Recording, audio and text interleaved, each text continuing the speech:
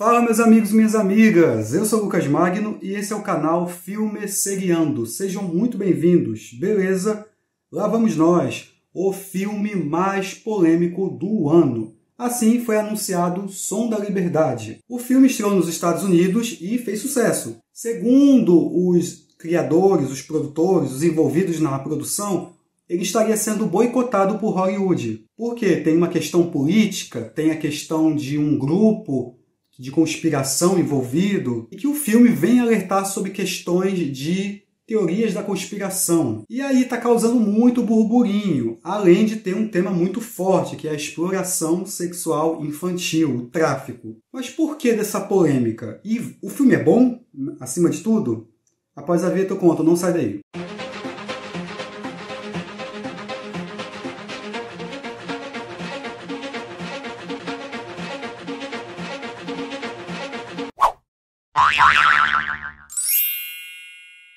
Sound of Freedom, ou O Som da Liberdade. A direção é do Alejandro Gomes Monteverde. Esse filme já estava pronto há um tempão. Ele seria lançado pela Fox, na verdade uma subsidiária da Fox na América Latina. Quando a Disney comprou a empresa e suas subsidiárias, engavetou o projeto. Ninguém sabe por quê. Depois de uma campanha de crowdfunding, né, arrecadação por fãs, as pessoas doam dinheiro, Aí conseguiram comprar os direitos e lançaram o filme mesmo com a concorrência forte de blockbusters. Isso eu acho que foi em junho. O Donald Trump, o Elon Musk elogiaram bastante o filme, mas aí ele começou a causar polêmica, porque as pessoas envolvidas são polêmicas. Aqui conta a história de Tim Ballard, um ex-agente do Departamento de Segurança Interna do governo americano, também conhecido como Homeland. Lembram daquela série estrelada pela Claire Denis? Ele larga o posto para fazer justiça com as próprias mãos e tenta acabar com o tráfico sexual infantil. Mas muita gente contesta essas empreitadas desse grupo que ele forma. Muitos veículos dos Estados Unidos fizeram matérias dizendo que não é bem assim, não é tudo isso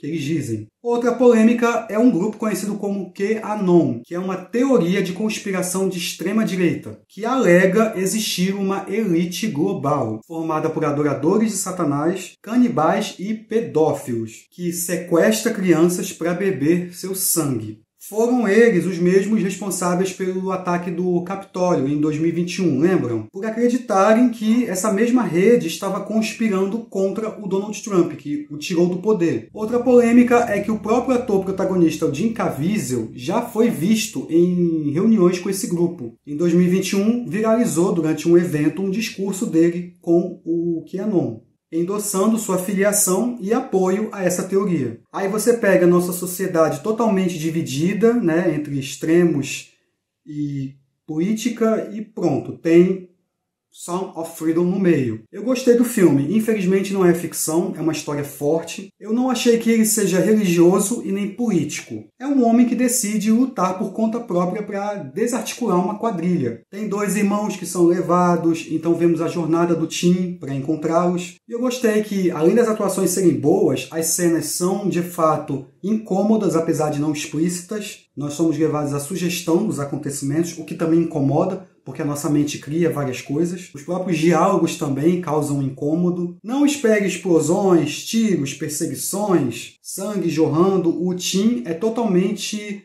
passivo na hora de agir, muito furtivo, se disfarça para encontrar os responsáveis. Lá pro terceiro ato aí vira um filme de resgate, tipo Rambo. Claro, sem tiros, explosões, como eu falei. Tem cenas emocionantes, se você abraçar a ideia, vai se emocionar. Tem essa mensagem de esperança, temos que proteger nossas crianças, e a mensagem mesmo é denunciar esse mercado, que assim, eu não lembro de um outro filme em Hollywood com essa temática.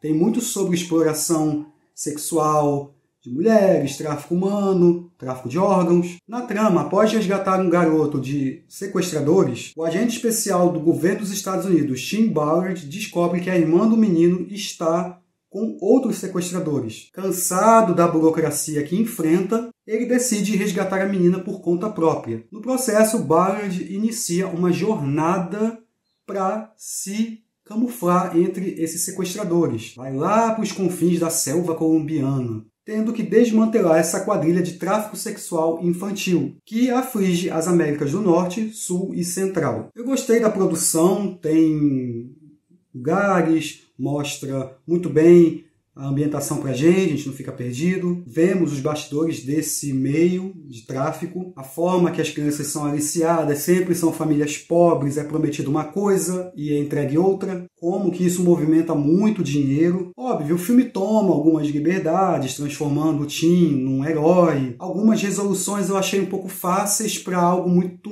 complexo, digamos. Eu acho que esmiuçando um pouco mais, aí sim a gente entenderia que é algo muito difícil de fazer. O Jim Caviezel está muito bem, é uma interpretação sólida, é um homem com um objetivo, reflexivo, paciente, mas carregando como se fosse um mundo nas costas para resolver isso. Ele quer salvar todas as crianças ao mesmo tempo. O olhar dele é intenso, sua entrega para encontrar esses irmãos, essa dívida que ele tem com o pai, principalmente no terceiro ato para resgatar a menina. Empatia, porque ele tem filhos, ele é pai de família, e o esforço para montar essa operação. Eu gostei bastante. O Jim Caviezel, quem não lembra, fez A Paixão de Cristo. As crianças também dão um show. O elenco é muito bom. Em resumo, O Som da Liberdade mostra uma realidade triste, pouco explorada na minha opinião, pouco denunciada. É um filme corajoso, Infelizmente não é ficção, tem cenas sugestivas que incomodam, as atuações são boas, a produção também, apesar de ter uma solução ou outra aqui fácil para o roteiro. Não percebi tom político nem religioso, apesar de umas falas do Tim, mas não diria que é um filme cristão, na minha opinião. É um filme que denuncia algo que é pouco denunciado. Agora, se vão fazer alguma coisa política com isso, porque ano que vem tem eleição nos Estados Unidos, aí eu já não sei. Isso não tira que o filme é bom. Se você tem sobrinho, filho, vai te incomodar. Até o momento que gravo este vídeo, Sound of Freedom já arrecadou mais de 150 milhões. Esse mês de setembro o filme está chegando aqui no Brasil. Eu não sei como é que vai ser questão de bilheteria. Vai ser distribuído pela Paris Filmes. Comenta aí se você já assistiu Sound of Freedom, Som da Liberdade. Gostou? Não gostou? E por quê? Você acha que ele tem a ver com a QAnon? Qual a sua opinião sobre esse grupo? Você conhece mais a história? É, mais alguma coisa que eu não comentei aqui no vídeo? O que, que você mais gostou do filme? Qual a sua opinião? Queria muito ouvir para a gente trocar informações. Aproveita também, se inscreve no canal, ativa o sininho para você não perder nada. Se você gostou do vídeo, dá uma curtidinha aí que me ajuda bastante.